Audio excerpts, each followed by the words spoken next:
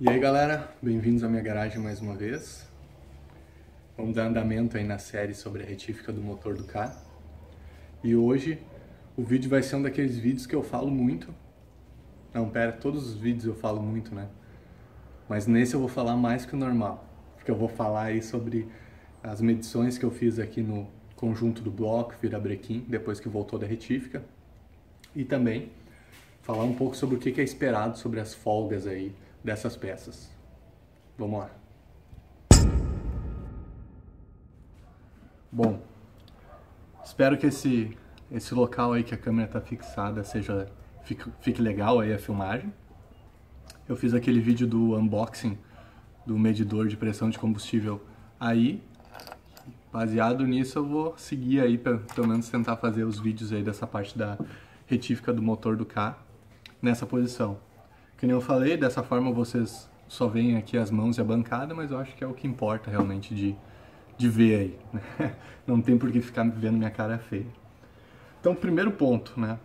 No vídeo anterior aí eu falei para vocês que eu levei para retífica todas as peças, né? Falei dos valores que tinha saído, mostrei aí as peças como que tinham ficado e comentei que eu ia depois conferir aí todas as medidas para ver se realmente estava seguindo o padrão, estava dentro do certo, as folgas, dentro das tolerâncias, tudo, tudo correto, né?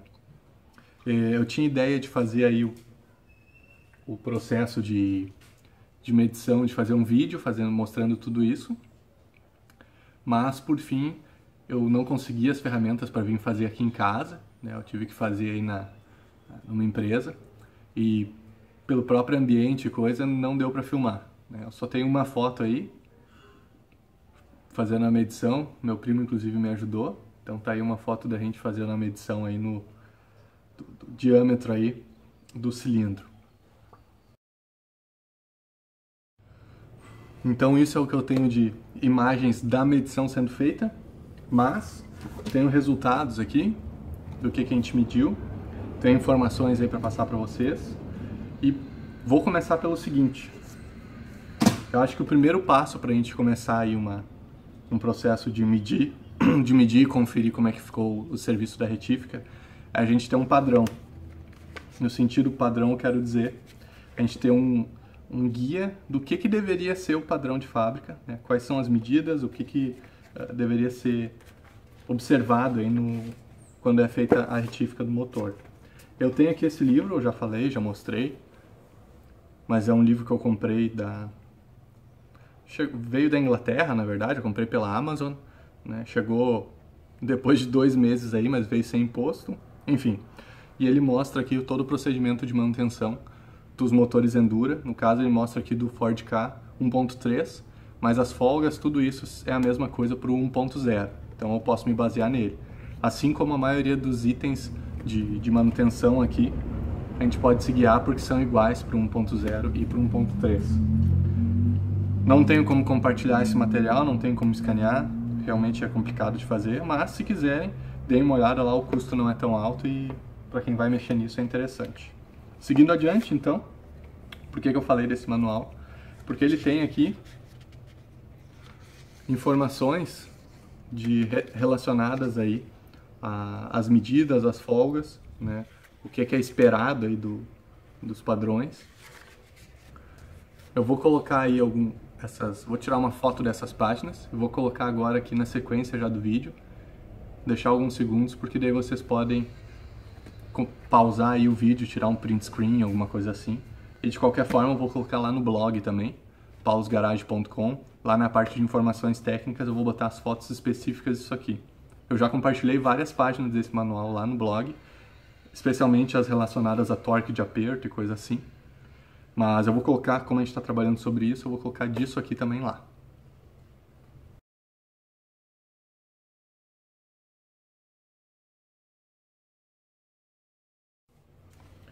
O manual aqui ele começa falando sobre ah, medidas de, relacionadas ao cabeçote, de diâmetro de válvula, coisas assim. Isso aí tem um pouco de diferença entre 1.0 e 1.3, pelo que eu vi. Mas aqui na outra página a gente começa a entrar em coisas mais interessantes aí. E a primeira delas é sobre o comando de válvulas, tá? que tem aqui diâmetro do comando de válvulas, Né? Enfim, ele não diz ali a folga, por exemplo, deixa eu pegar o comando aqui para vocês, para mostrar. Ele não fala sobre essa folga aqui. Deixa eu ver de que forma eu consigo mostrar melhor. Sobre essa folga aqui, né? Entre o alojamento aqui no bloco. Mas ele fala do jogo que o, o comando pode fazer aqui. Então, que a primeira coisa que eu vou mostrar para vocês é isso.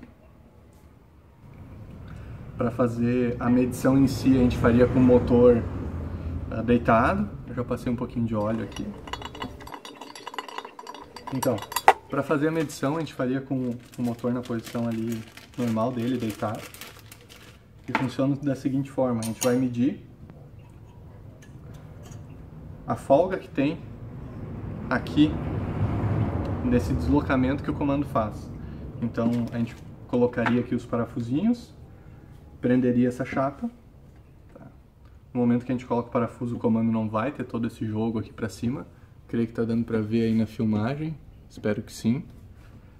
Deixa eu colocar o motor de lado agora, que eu acho que talvez vai facilitar. Tô botando o bloco para lá e para cá, mas fiquem cientes que não é leve esse bloco, pelo contrário.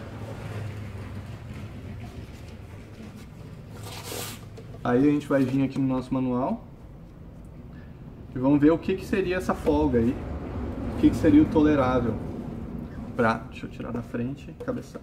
O que, que seria o tolerável aqui entre o comando e uh, a chapinha. Tem inclusive uma foto que eu vou mostrar aqui para vocês que eles eles demonstram como, por assim dizer, uh, seria essa medida. Eu acho que vai ficar mais claro no momento que eu mostrar essa foto. Então aqui mostra, vou colocar aqui, mostra como deveria, como é feita essa medida. Então ficou, acho que agora fica claro aí para vocês. E a medida é de 0.02 a 0.19. Eu acho que eu não vou ficar mostrando toda vez o livro, mas eu vou falar e depois vocês podem consultar nas imagens lá. Então 0.02 a 0.19. Bom, o calibre de lâminas que eu tenho aqui, ele começa em 0.05. Tá? No caso, eu medi aqui e o 0.5, agora eu estou só simulando, né? Mas quando eu fiz a medição, o 0.5 entrou bem e o próximo que eu tenho é o 0.10. E o 0.10 não entrou. Então, isso quer me dizer que a folga que eu tenho ali é entre 0.05 e 0.10. Isso a gente está falando em décimos de milímetro, né? Novamente, voltando aqui, a folga deve ser de 0.02 a 0.19. Então, como a minha está entre 0.05 e 0.10, está bem no mediano, né? Está próximo ao, ao a folga média aí que deveria ter aqui nessa parte do comando. Então essa parte aí, essa primeira medição que a gente faz, que é essa aqui, tá ok. Então isso aí, sem problemas. O comando aqui, ele foi feito um serviço de nas buchas ali, no, por assim dizer, nos mancais dele, para tirar folga. Então foi colocado uma bucha maior e eles fizeram um embuchamento, no caso, ajustaram até que ficasse aqui com uma folga, ah, segundo eles, semelhante à do virabrequim, mas um pouquinho menos de, de um décimo. Vou tirar o comando aqui agora e vamos adiante. Próximo item que tem aqui na lista, aqui no manual, é o cilindro, no caso aqui o bloco, a medida que seria. Detalhe é que para esse manual aqui, como ele é do 1.3, a medida é diferente do que a do 1.0. Então eu peguei informações do manual da Mali, eu vou colocar aí o link embaixo que é um PDF. Vou colocar aqui no link da descrição do vídeo para que vocês tenham uma ideia. Conferi estava correto com 0,50, que foi o que me informaram que eles iriam colocar. Então, isso aqui estava tá, certo. Próximo ponto é a medida do pistão em si. Que nem eles falaram, eles aumentaram aqui para 0,50, tiveram que fazer uma retífica, abrir um pouco, né? Por causa de algumas marcas que tinha aqui no, no cilindro. Na camisa, não é camisa, né? Porque é direto no cilindro, mas enfim tiveram que abrir um pouco, então para além do 0,25 foram até o 0,50, segunda sobre medida. Os pistões aqui no caso, Eles são pistões 0,50, inclusive dá para ver aqui em cima dele, tem outras informações nele, como por exemplo o diâmetro, 69.17, né? e foi justamente o que a gente achou medindo o pistão aqui pelas laterais. Então a gente colocou aqui com um micrômetro, micrômetro é aquela ferramenta que pega aqui, ó. Vou colocar uma foto aí para vocês do que é o um micrômetro. E já que eu vou falar depois, já vou colocar uma foto também do que é um súbito, também para facilitar o processo. Então, como eu estava dizendo, a gente mediu aqui o, a saia do pistão. Tem recomendações na internet de onde fazer isso. Por acaso esse pistão ele tem essa marca aqui na lateral, foi justamente onde a gente usou para medir, mas olhando aqui no, no manual, também tem informação aqui, tem uma foto de onde que deveria ser medida o pistão. Então deixa eu colocar, só mostrar rapidinho aqui para vocês. Então que é justamente onde a gente fez a, a medição também. Então essa parte do pistão tá ok. E sabendo então o diâmetro aqui do cilindro e o diâmetro do pistão, ou o inverso, né? Digamos, com o diâmetro do pistão, a gente já conseguiria identificar aí se a folga que é preciso ter entre o pistão e o cilindro, que tem uma folga padrão, sabendo a, a distância aqui, a medida do, do pistão, a gente já consegue ver se essa folga está dentro do que é esperado ou não. No caso, por um motor Endura tanto 1.0 quanto 1.3, isso a gente pode se basear aqui no manual. A folga é para ter entre 0.015 e 0.050. Tá? Então o que a gente fez, a gente, que nem eu comentei, a gente mediu aqui com o micrômetro. Tendo a medida do micrômetro, vamos pegar aqui uma para exemplificar então a gente calibrou o micrômetro para a largura correta do aqui do pistão, né? Tendo essa medida correta, a gente botou aqui o súbito. Estou exemplificando, né? A gente botou o súbito. O súbito aqui na ponta ele tem a, aquele marcador, aquele relógio. Com isso, tendo o relógio, a gente colocou aqui na camisa e fez a medição conforme tem que ser feita. A gente fez isso para os quatro cilindros. Tá? E os quatro cilindros, uh, na verdade, um e o dois, esses dois aqui deu 0.015, que é onde começa aqui a nossa, a nossa tolerância, a nossa folga. E esses outros dois deram 0.020. Então tá ainda bem abaixo aí do máximo, que poderia ser o 0.050. Então isso aí tá, tá certo, tá perfeita essa medida. Então isso aqui tá tá ok.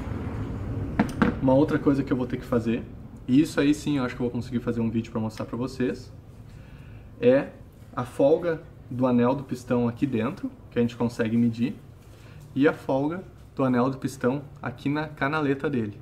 Então, mais para frente, eu vou fazer a continuação aqui mostrando essas duas, esses dois pontos.